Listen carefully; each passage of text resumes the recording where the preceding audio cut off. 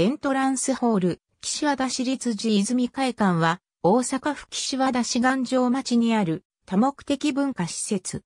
岸和田城3の車の北東部に位置しており、2の車の北端に位置する岸和田市役所の資金にある。1997年に国の登録有形文化財に登録された。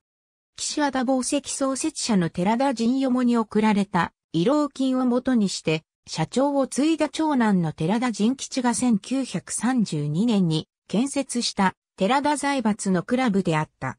岸紡や寺田家の関連建築を多く手掛けた渡辺節の設計によるもので、近世スパニッシュ様式の建築である。岸和田宝石は1941年に大日本宝石と合併した。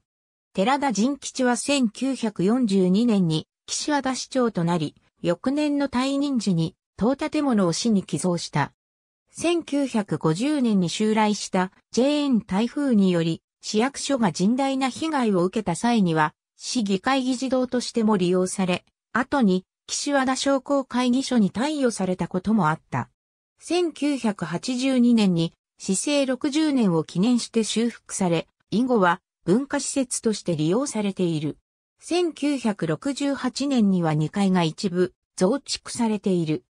通常は文化施設として利用されているが、利用されていない場合は見学が可能である。ありがとうございます。